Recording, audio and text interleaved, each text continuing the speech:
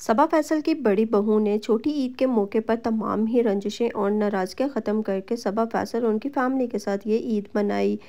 صبا فیصل کی چھوٹی بہو نیشا طلعت کی یہ پہلی عید تھی تو بڑی بہو کیسے پیچھے رہ سکتی تھی؟ اسی لیے ان کی بڑی بہو نے تمام ناراضگیاں ختم کر کے یہ عید اپنی فیملی کے ساتھ منائی، جبکہ صبا فیصل اور ان کی بڑی بہو کے درمیان کافی اچھی خاصی لڑائیاں تھیں۔ اس قدر ان کی لڑائیاں بڑھ چکی تھی کہ صبا فیصل نے اپنے بڑے بیٹے اور بہو کو گھر میں آنے سے سختی سے منع کر دیا تھا۔ فینس کا کہنا ہے کہ صبا فیصل ریئل زندگی میں بھی کوئی اچھی ساس نہیں ہے، کیونکہ یہ جیسے ڈراموں میں ساس بنی ہے، ویسے ہی انہوں نے ریئل لائف میں بھی اپنی ساس کا کردار بخوب نبھایا ہے۔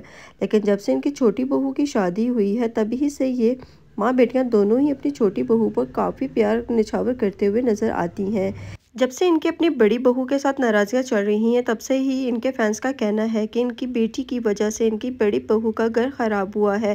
کیونکہ صبا فیصل ہر موقع پر اپنی بہووں کی بجائے اپنی بیٹی کو اہمیت دیتی ہیں، جبکہ صبا فیصل کا کہنا ہے کہ ایسا بالکل بھی نہیں ہے۔ ان کی بڑی بہو خود ہی ان کے ساتھ رہنا پسند نہیں کرتی۔ جبکہ کچھ فینس کا یہ کہنا ہے کہ صبا فیصل کی بڑی بہو ان کی پسند کی نہیں ہے، وہ ان کے بیٹے کی پسند ہے، اسی لیے صبا فیصل کی اپنی بہو کے ساتھ زیادہ نہ بن پائی۔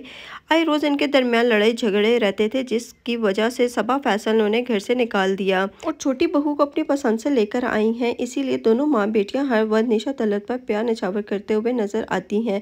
خیر، اس عید کے موقع پر ان کی بڑی بہو نے بہت ہی اچھا کیا ہے کہ تمام ہی ناراضگیاں ختم کر کے اپنی فیملی کمپلیٹ کر دی اور صبا فیصل نے تمام ہی رنجشیں ختم کی اور اپنی بڑی بہو کا بہت ہی شاندار طریقے سے ویلکم کیا۔